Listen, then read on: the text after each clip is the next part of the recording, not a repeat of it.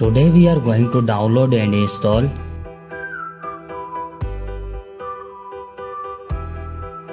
First of all, you have to open any browser and search here flashifyit.com. This website opens in front of you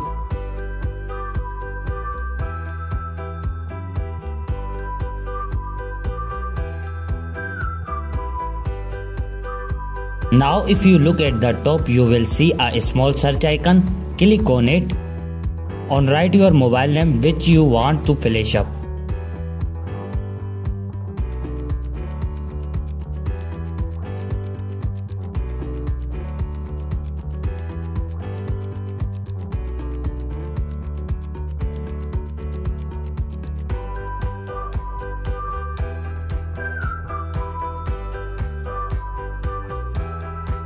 To the download and install SP Flash tool here, click on it.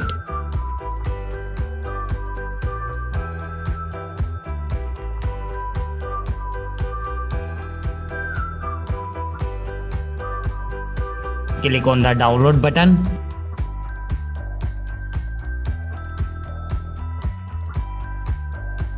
Here you can see that our SP Flash tool has started downloading.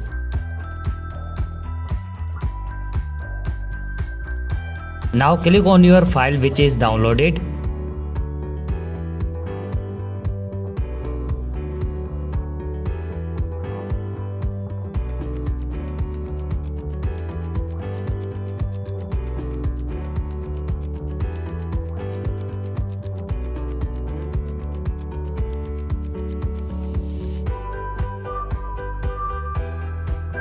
Select your Scatter loading file.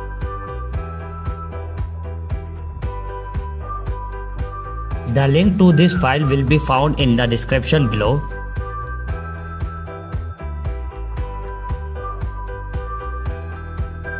Choose one of them.